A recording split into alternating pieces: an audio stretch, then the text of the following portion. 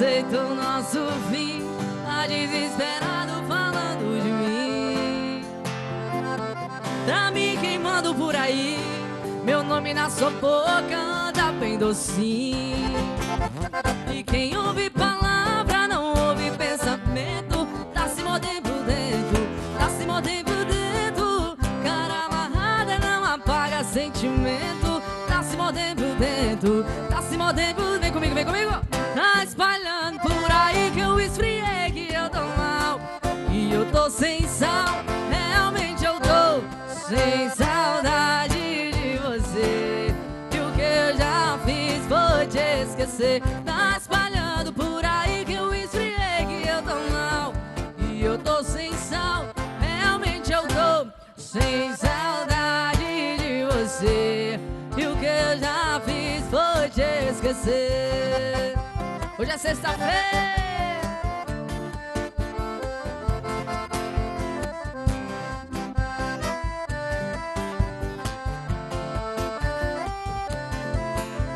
E quem ouve palavra não ouve pensamento. Tá se mordendo por dentro, tá se mordendo por dentro. Cara amarrada não apaga sentimento.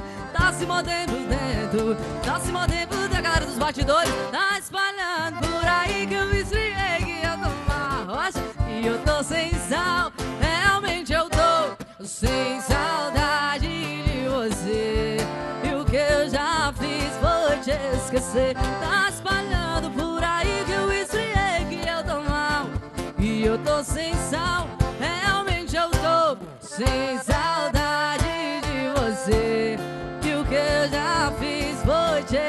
esquecer.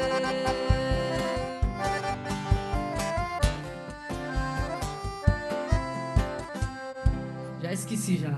Elaine Braga, Elaine Braga oficial aí nas redes sociais, já tô seguindo, já tô marcando, eu mostro sempre os bastidores, tanto do entretenimento quanto das principais entrevistas e, claro, notícias. Então, vocês fiquem lá de olho nas nossas páginas sempre, né? Arroba Bem da Terra, tanto no Instagram quanto no Facebook. E as minhas páginas, em particular, sempre disponibilizo para vocês. Sempre que eu tenho um tempinho, eu falo com vocês. Face, Instagram, arroba Renata Maron. E aí fique por dentro aí dos bastidores do programa. E, claro, sempre acesse lá nosso site, tvterraviva.com.br e baixe o nosso aplicativo também, tá bom? Vamos conversar? Vamos interagir? Quero saber o que vocês têm mandado aqui pra gente. Vê o WhatsApp 54. Começa com o pessoal lá do Sul. Bom dia, Renata. Tem previsão de neve aqui na Serra Gaúcha. Pois é, Damião Magalhães de Vila Oliva, em Caxias do Sul. E canta muito essa guria, elogiando aí seu trabalho. Seguinte, Damião, vamos falar sobre isso sim. A expectativa pode ser que haja realmente neve aí em algumas regiões do sul do país devido à forte frente fria que chega aí muito mais expressiva em algumas áreas aí do sul. Obrigada por nos alertar também, tendo novidades, tendo fotos, encaminha aqui para mim que a gente faz questão de falar com vocês, viu? Deixa eu vir aqui do 33, depois a gente vai baixando, que são muitos recados. Bom dia, gostei muito dessa cantora Elaine Braga, canta muito, música boa. Obrigada, pessoal de Minas. 13, Litoral Sul de São Paulo aqui com a gente. Bom dia! Olha só a Dulce do Litoral de São Paulo, caneca do Bem da Terra, bolinho de manhã, que delícia, hein? Ligadinha aí sempre em vocês e cantando e dançando, porque sextou pra ela. Obrigada, Dulce, da Praia Grande.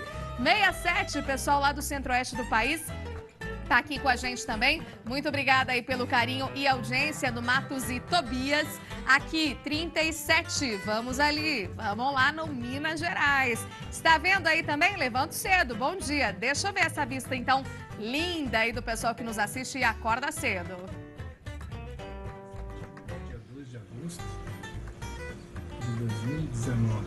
Olha como é que amanheceu Córrego Fundo. Fazendo 14 graus. Achei que ia ser frio nessa sexta-feira, mas não foi não. Mas o céu tá lindo, né? O sol tá nascendo agora, olha que rajada mais bonita. Ok? Um abração pra vocês, tchau, tchau.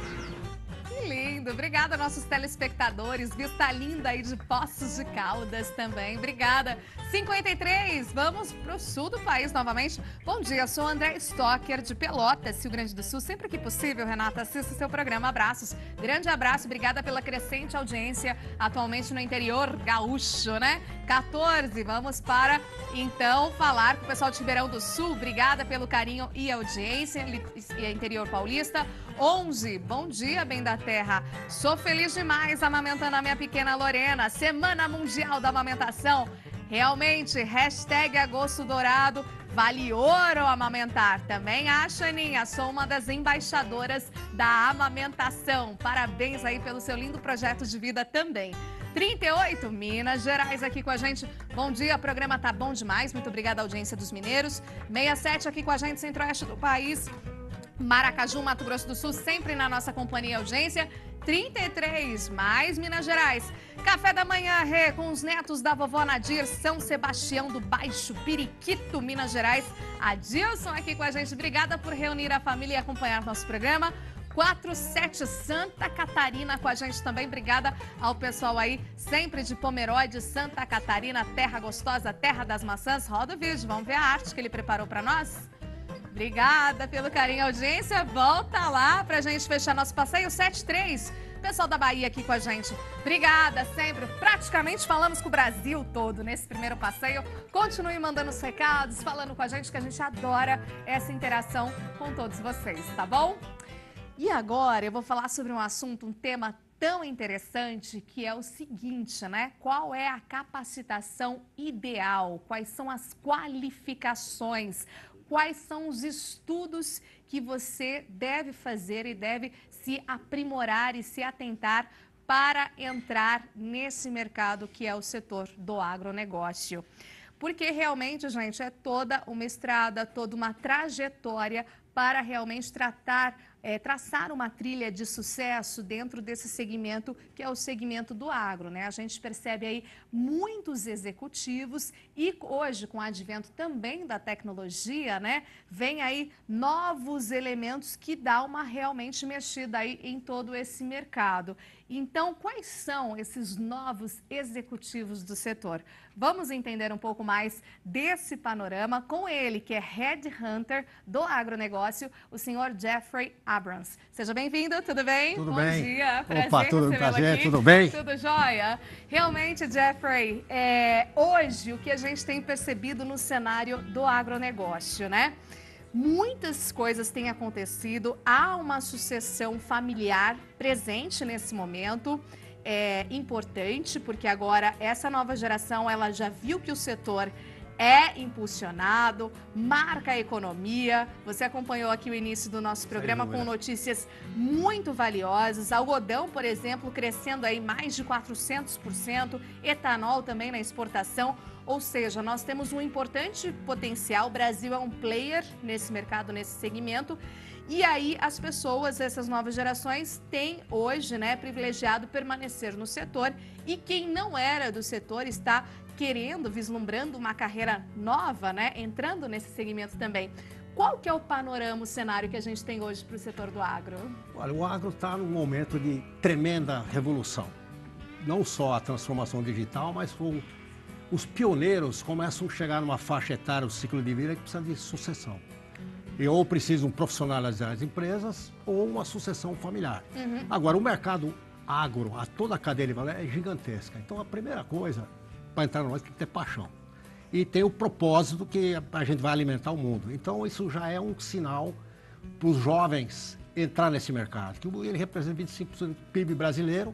É uma área onde o Brasil é altamente competitivo. Nós temos clima, solo, temperaturas, luminosidade para maiores produções do Brasil. Então, eu diria que a, a, primeira coisa são esses itens. Depois, você tem que ter uma formação, idealmente agronômica ou de é, proteína animal, que seja, veterinária, agronomia, porque o setor é um tanto técnico. Uhum. Porque hoje, com o advento do manejo integrado, com todas essas questões, exigências de sustentabilidade, nós vamos ter que produzir alimentos que o mundo quer, uhum. não é uhum. exatamente o que a gente. Então, existem também fatores, clima, que a gente não tem controle, e nem os preços. Então, você tem que buscar uma competitividade de custos, fazer mais com menos. Sim, que é a questão da produtividade, É, né, que é nós isso. estamos fazendo.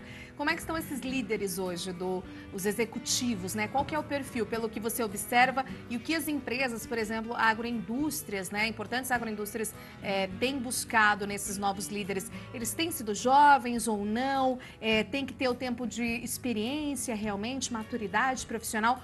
Como que eles, as empresas do setor estão selecionando esses executivos? Acho que a primeira coisa é, pelo executivo já tem uma trajetória de sucesso de resultados. O cara fez antes, entregou depois o resultado. Então esse é o primeiro ponto. O segundo ponto é a capacidade analítica ou uma formação em finanças para ajudar a Sim. gerir um, um empreendimento agrícola que tem vários fatores que você precisa estar atualizado. Então eu diria que os executivos que têm sucesso nessa área, a primeira coisa é ter essa boa formação, que tenha feito trajetória ou em insumos, ou na área de produção agrícola, ou na área de, de trade, esse tipo de coisa. Então existe uma enormidade de oportunidades dependendo do acordo com o perfil de competência de cada um e a formação. Mas ó, a primeira coisa que, que sai é liderança mobilizadora.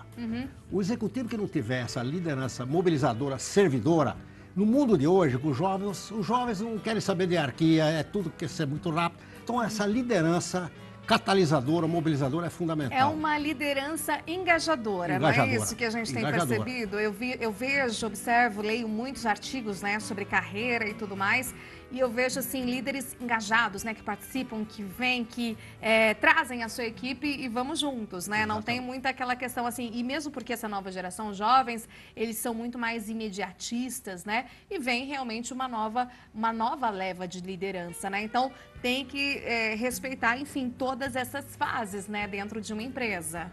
É, o que acontece muitas vezes, os jovens começam a ter choque, com os mais velhos que estão arraigados nos seus paradigmas, que eles precisam começar a mudar, entender? Não adianta falar, ah, os milênios são assim, só você tem que se adaptar e como trazer eles no engajamento do propósito do seu negócio. Então a liderança, como eu falei no início, é importante. A capacidade analítica, com a questão da transformação digital, cada vez mais os profissionais vão ter que entender de telemetria, análise de dados, a inteligência artificial, cada vez mais vai ficar muito mais refinado o mercado que estava no passado. Então é uma revolução de cabeça. As próprias universidades vão ter que se preparar para isso. Uhum. É o que a gente tanto fala, né? E vem comentando sobre as famosas agritechs, né? Que é realmente a tecnologia empregada no setor. Surgem aí novas startups. Diariamente a gente vê, são mais hoje de quase 400 startups voltadas para o setor do agro, são as chamadas agritechs. Portanto, a gente vê assim um mercado realmente impulsionado aí por esses valores e em termos tecnológicos também, a famosa disrupção digital. As pessoas têm que entender e como você falou, né, Jeffrey, mesmo não tendo tanta familiaridade, elas vão ter que investir um tempo, não falo em perder tempo, mas investir um tempo para lidar, saber lidar com todas essas situações. Isso principalmente da geração mais velha. Ela fala, "Pô, eu sou um dinossauro, eu preciso me adequar às novas tecnologias. Então, eles precisam se adequar. É uma nova língua, né? Nós estamos num outro mundo, é um mundo digital, é uma nova linguagem. Então, que se a pessoa ficar muito arraigada no passado, ele vai- ele ficar fora do jogo. Então, os- tem vamos dizer, as pessoas mais maduras precisam pegar, se atualizar, como é que funciona isso aí. Então o mundo está cheio, porque você vai ter comércio eletrônico, você vai ter o marketplace digital. Então as coisas estão acontecendo muito rapidamente. E se essas pessoas não embarcarem nesse barco, eles vão ter dificuldade de gerir os próprios executivos ou familiares que estão na operação. Agora sim, você que já tem uma larga experiência no setor, né? Além da liderança, eu gostaria de saber quais são as características fundamentais para ser um bom líder, né? Para ser um bom engajador, independente de estar no setor agro ou não, visto que você faz as principais seleções de executivos do setor. O que, que você vê em comum entre esses gestores e esses executivos? Primeira coisa, eu chamaria de uma liderança servidora, humildade, porque o agro é um setor, queira ou não, um setor de relacionamento. Antigamente o relacionamento era tudo. Hoje você tem que ter relacionamento mais tecnologia. Hoje, com o manejo integrado, com todas as tecnologias novas, você tem que aliar essas duas coisas. Então, essa pessoa tem que estar atualizada com essas questões. E acho que essa questão de engajamento e, e ter, trabalhar processos para poder otimizar, porque a, o, a agricultura é uma fábrica de céu aberto. Então, as pessoas precisam se adaptar a essas. Ele tem que ter muita resiliência, tenacidade, capacidade de viajar. Porque o agro é nos interiores do Brasil. Se você Sim. for uma pessoa que não tem tonos vitais, energia, você não vai conseguir a- a- atravessar. Outra questão também é a questão de como que você opera à distância, com a conectividade. Porque uhum. muitos gestores que estão fora, você tem que saber mobilizar via, às vezes, a internet. Uhum. Então, essa questão da capacidade da visão estratégica, muitas vezes acontece que um, um, uma empresa nos pede, ah, nós queremos uma pessoa, mas ele está muito na operação, ele está sem a visão estratégica do negócio, do, do, que poder avaliar novos investimentos, como é que vai ser o retorno disso aí. Então, cada vez mais sofisticado. Sim, maravilha. A gente falando nesse setor, nesse segmento, nessa questão mais específica, né, de executivos, lideranças aí do agro. Daqui a pouquinho vamos abrir aí o código 67, o pessoal está escrevendo aqui para a gente, a gente joga no telão, mais recente 67 que chegou, e aí já comentários sobre esse assunto. E além disso, né, o que a gente gosta e acha importante de falar, assim, hoje é, fala-se muito, né, entre a área de recursos humanos sobre é, a, o relacionamento e a questão também hoje de inteligência é, emocional, né, enfim, Boa. hoje essa capacidade capacidade também de saber se relacionar entre vários elos, né? Entre ali no início da cadeia e até um presidente CEO. Isso é importante, né, para fazer essa ligação, porque muita gente fala, Renata, não é só a capacitação, é fundamental hoje você saber o que você faz, o que você produz, o seu conhecimento, mas além disso, é saber agregar e saber circular entre os vários meios, é isso? É isso aí. Hoje, quando se contrata as pessoas, 90% das vezes é em cima de um aspecto técnico. 80% das demissões é questão comportamental. Então, uhum. essa questão de relacionamento, de trabalhar em rede, trabalhar em equipe, hoje trabalhar em equipe é uma competência fundamental. Hoje não existe mais aquela questão, manda quem pode, obedece quem juiz. Essa gestão antiga de coronelia não tem mais.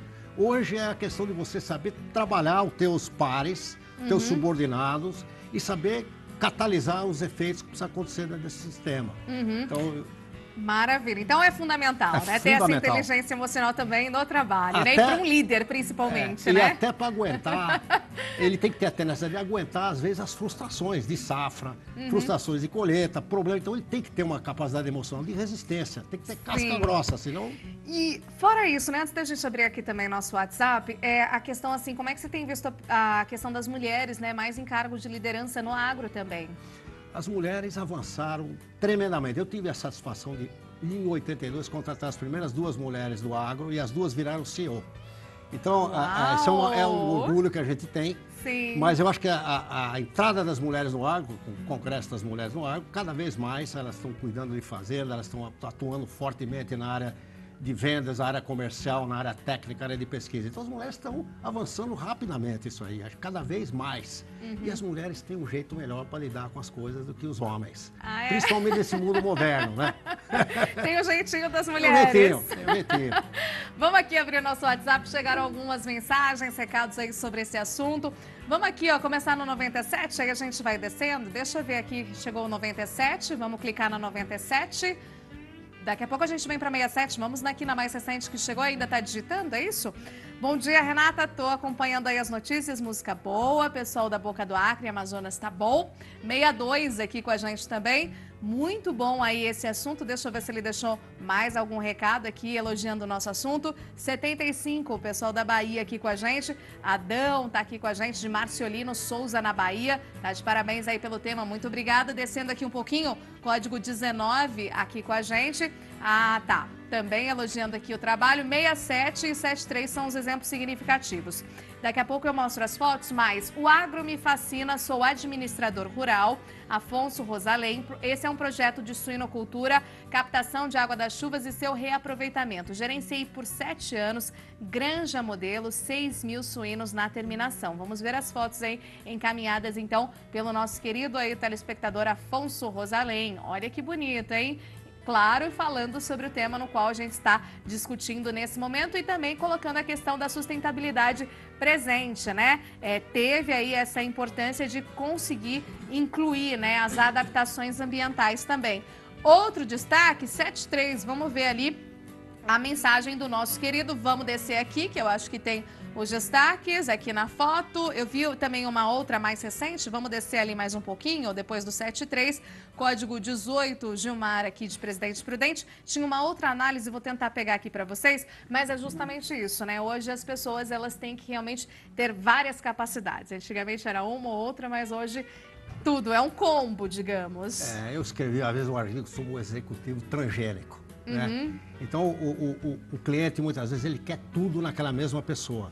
Não dá. Se você é criativo, normalmente você não é muito detalhista. Se você é extrovertido, dificilmente você vai ser uma pessoa muito analítica. Claro, você vai ter essas combinações que a- as empresas querem tudo num porque eles querem fazer mais com menos. Então, Sim. eu acho que é essa, esse combo que você bem colocou é uma transgênico que você tem que injetar, às vezes, competências que não tem, que algumas são mutáveis, outras não. Então, tem esse aspecto que é muito importante ter esse todo. Mas se você focar no, no- a velha curva de 80 a 20, se você tiver pelo menos 80%, da, 20% das principais competências, você consegue até ter um coaching nas outras que você talvez esteja deficiente. Então, as empresas precisam, às vezes, fazer um, um acordo. Ah, não, não queremos isso, vamos, vai- você vai calibrando ah, o recrutamento de acordo com sua ligação com o cliente. Maravilha, excelente análise, excelente assunto. Obrigada, Jeffrey, por estar aqui com a Obrigado a gente. você. Como é que a gente faz para te localizar? Site, telefone, redes sociais? É fesagroup.com, meu e-mail é jeffrey.fesagroup.com. Estamos à disposição, parabéns aí a, A cantora a, a também? cantora que é Elaine Braga e a toda a sua interação é, com o mundo agro fantástico e vejo que aqui tem um ambiente de paixão. Isso é muito, importante. obrigada. Obrigado. Obrigada, Obrigado, hein? excelente, viu? Continue aqui com a gente. Vamos de mais som. Som, sucesso e talento com Elaine Braga.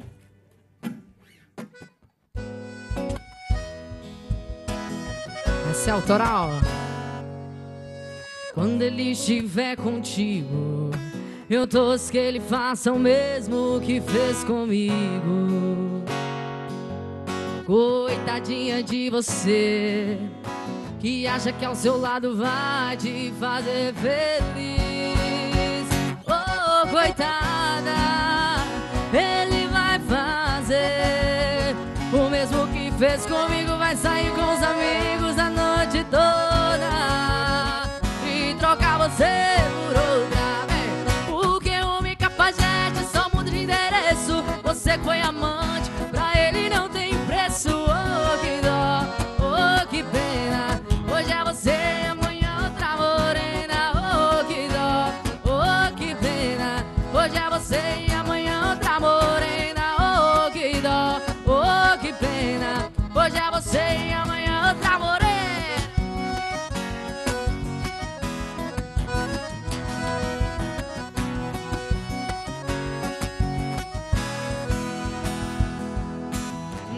De você Que acha que ao seu lado vai te fazer feliz Vem!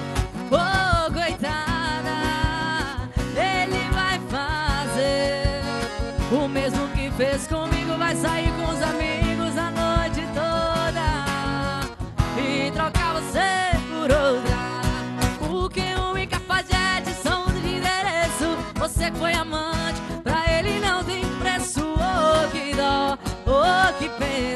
Hoje é você e amanhã outra morena Oh, que dó, oh, que pena Hoje é você e amanhã outra morena Oh, que dó, hein?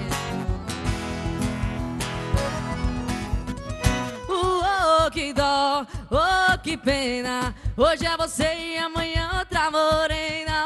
Oh, que dó, oh, que pena. Hoje é você e amanhã outra morena.